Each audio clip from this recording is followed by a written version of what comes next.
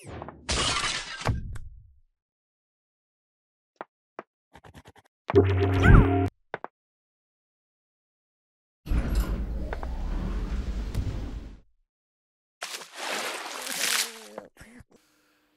Tony here from Lightwave Digital. In today's tutorial, we're going to be looking at the Match Perspective tool in Lightwave Layout.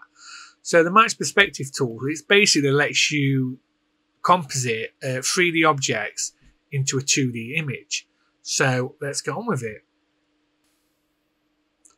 Let's start by adding an image. So under the render tab, if you go down and there's an option here that says set BG image. So we're going to set a background image. So I've just got an image from the internet. I'll put the link to the image I'm using in the description. So if you want to uh, follow along with it, you can. So if I've got an image loaded, or if you've got an image loaded, you can load it here, which I don't. So I need to load the image. So let's go to my images, choose the image, and add it. Uh, so I'm using the camera one that I've only got. I've only got one camera. I want the camera to match the size of the actual image. So you need to be aware of this. So make sure you know what the size of your image is. And I want to set my background options up using that image so, so I don't have to do it. And here we go. So the image is in. I've got this image of uh, a derelict building inside. And I'm just going to change my bottom right to a, a, a perspective view. So first thing we're going to do is under the render tab again, we go down, you've got match perspective. And when you click it, it adds these, these lines on, these colored lines. And the colored lines um, uh, match up to the actual X, Y, and Z. So if you look in the bottom corner here, the X, Y, and Z are color coded just like these are in the same way. And then what you do is you point, you move them into position of their actual vertical and horizontal lines in your actual scene so they kind of match up. So for instance, if I just click on one of the little circles and move it, you'll see that I can move them along to where I want. So here's one of the actual Y I'm using this pose for. Now, if I left, uh, sorry, if I right mouse click on the little circles, they'll zoom in. So you can do it, move it by pixels, so you can get it spot on. Uh, if you double click the center cube, you can lock it to that position if you wish. So let me just move some of these into positions. I'm going to do it fairly quickly. Uh, so with the kind of the X, I'm going to use the back wall. So it's just about lined up. I'll just move it slightly. That'll do. I can probably leave this one. I mean, it's near enough in line anyway. And then for our bluish lines, we're going to use the posts because as they're going back into the distance like so. So they're actually lined up in this way. And based on what image you're using, it might be quite different. My suggestion is with this, is to get a few images and just practice. So once I've done that, press N on your keyboard, it brings up these options. So these options, I'm going to go through and explain roughly what they are so you understand uh, what each option does. So if we start at the top here, you've got this lock option. And if I click on the drop down there's three options. So you've got zoom factor. So this keeps the zoom factor fixed but change the film size. You've got focal length. So this changes the factor and film size keeping focus length fixed and then you've got the frame size the frame size remains fixed but changes the zoom option you've got the swap X and Z so this basically it might be that you want the camera to flip round the opposite way. So you want it to be the opposite way. So that's what it'll do. It'll flip it around for you. Like so. You've got these option drop down here with, it's got fixed height, height from floor and on floor. So the fixed height leaves the camera at its current height. The height from floor adds a gizmo which uh, you can which can indicate the vertical height of something in the scene as measured from the floor. Uh, so from the X and and Z plane, uh, this is where you really need to have your own height. So this will let you manually put in the height of the camera in here. So if you've took the picture yourself on a tripod and you, are wondering how high it wants to be, that's what you can do with that. You've got a reset option here. You've got an origin. So the origin, uh, when on, places a gizmo in the scene, which indicates where the world origin would be. This moves the camera's X and Z. and then you've got a solver. So with the solver, I don't really, I can't say I've ever really used it. With the solver, it runs the solver a few times every time you press the button, uh, in case it hasn't uh, converged to a good solution completely yet. So, but like I said, I've never really used that. So once I've got this set up, from here, all I'm going to do is from the fixed height, I'm just going to tell it to height from floor and this happens. It brings your actual grid down and it gives you this little line gizmo. But all I want to do is, which you can move it around and, and you can stretch out your kind of grid. So if I bring it down and bring it up and so on, you can do that. But all I'm going to do is click in the middle and I'm just going to bring the whole grid down. So it's literally in line, as you can see now, with the floor level. And once I've done that, I can shut it down, press spacebar, and then we're ready to start adding our 3D objects. So now let's add a ground plane to this. So simplest way to do it is go to model, geometry and ground plane. We'll leave everything the same. We'll just click save object so we save it into our contents folder.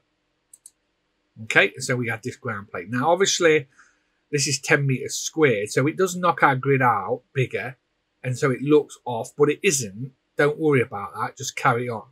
So with this, we just need to line it up so it's kind of lined up against the wall like so. So I'll move it against the back wall. And then what I'll do is go to modify stretch and we'll just stretch it out a little bit and move it so it's covering the ground. You can go outwards as well. So if you want to stretch it outwards a bit, you can. It's up to you. So let's put a VPR on. So you can see now our ground plane. So we go to Surface Editor, onto the ground plane, go to Shading Models, and instead of Photoreal, we're just going to put Shadow Catcher. So now any objects we add, it's going to catch the shadows and lights and stuff. If we go to Materials, it's got 50% by default specularity. Now the ground hasn't really, it hasn't got any kind of specular. So let's just put zero in there, okay? So next we need to add an object. So again, let's just go to Model, geometry, and let's add a cube this time. Save the cube, we'll just leave everything the same. And it's going to put this cube in the middle of our scene. So let's move it back and then in the right view, let's move it up. And so it's now on, on the ground, as you can see. Now, if we look at the posts, we can see the shadows are coming from the right to the left where they're not here. So what we'll do is we'll choose the, this light here, which under properties is your distant light. So it's kind of like the sunlight. And what we're going to do is we're going to rotate it and try and duplicate where the shadows are. So modify, rotate, and then let's rotate it. So I'm rotating it round and I'm looking at these shadows to kind of see how I think it should be. Now, currently, we'll leave everything the same for intensity. So we'll just put 5 in here. Return. And it softens it a little bit. And we can work on that. And also, with the light, what we want it to do is we want to bring it in a little bit because this isn't a long if you can see it's not a long shadow it's a short shadow so we can bring it in a little bit as well like so okay so Another thing with this is we're going to add these posts in because currently if I select the box and I move them, they're just going to go over the top of the post and they're not casting the shadows onto the post. They're on the ground. So we can sort that. But another thing we can do is at the top where it says current light, we go to environment light. It's currently using this gradient. I don't have a HDRI of this scene or for this scene. So what we're going to do is cheat a little bit. I'm going to while I'm on environment light, the environment box here, we'll right mouse click and we're going to add a texture environment. Double click, go to texture. For projection, we're using spherical. And for the image, we're using the actual background image through the Y. So we're kind of cheating a little bit. It's not a HDRI. It's not got the the the proper information to do it, but it is going to try and use it, which gives it the right, a little bit better colour. And also, if we're doing reflections, it will help with that a little bit. So we're cheating a little bit, but it kind of helps a little bit. So we've got that, and you can increase it, the, the light intensity if you want. So we've kind of got this now as well. So the next stage is really the post because we, so we've got our uh, our box and stuff in. We can see it in the actual scene, but like I said, it goes over the post. So the next bit we want to do is we want to sort it out so these posts are incorporated as well. So to add the post, let's let's click on Modeler and we'll jump over to Modeler. So we've got this a cube, a cube layer. Let's just double click it and give it a name. what I'm going to do is it here in my top view, I'm going to switch my top view to the layout view and it's going to come and say what image you want to use for your layout view. So it's basically asking for that image. So now what we've got is we've got we've got the layout view so we can see where we're putting the post. So I can create the posts and put them into position in here. But to be honest, I'm just going to create one and then take it through. So on a new layer, let's just use the disk tool. And let's draw out basic disk, numerical. We'll do it. I'm not sure how many posts. Let's say six. I think there may be six or seven. We'll go with six. And let's kind of pull it up. Like so.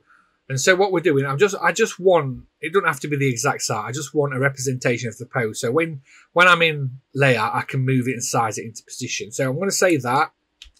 We'll double click it the, the, the actual layer, give it a name. I'm going to press Q on my keyboard to bring up the surfaces and just give it a, a, surface name. And then I'm going to press S on my keyboard to save it. And then I'm just going to go into layout and then the post comes through. So now we've got the post uh, in the scene. So what we want to do is we want to place the post over this post here.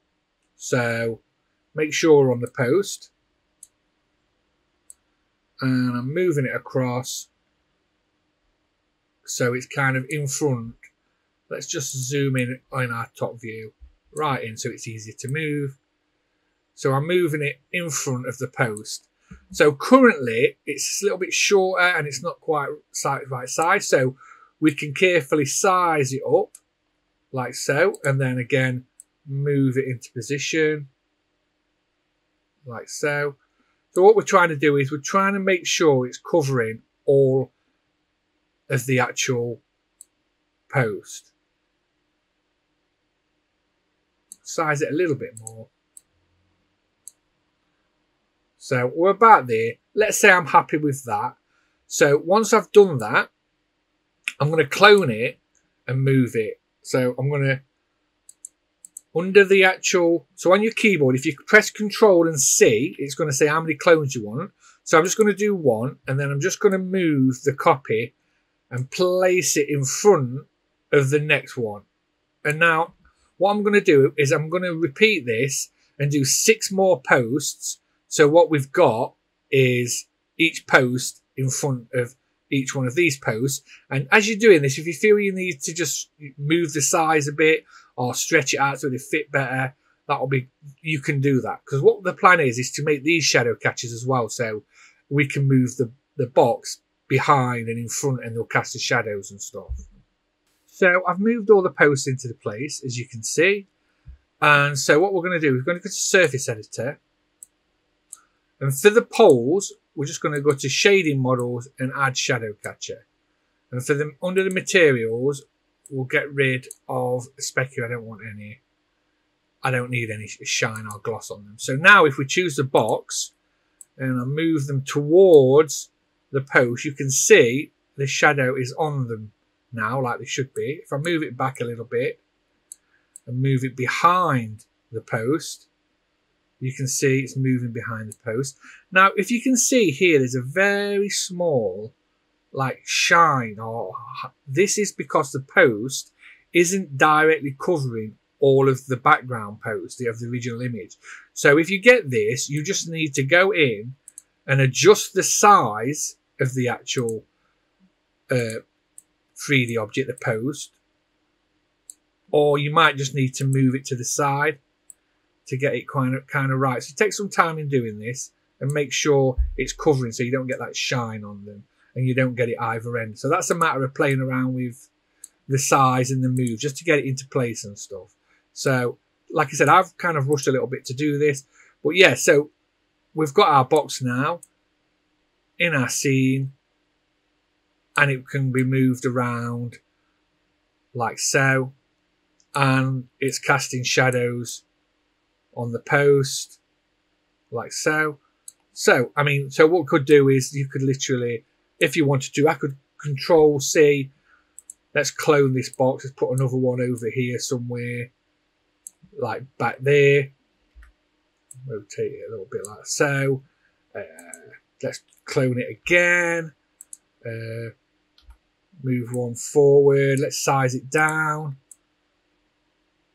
Move it down. But you get the gist of it. That you've got this once you've got your plane set up and stuff so if you've got this image and you wanted to make it into like an old building that's full of old boxes and stuff uh, you could do as easy as that really.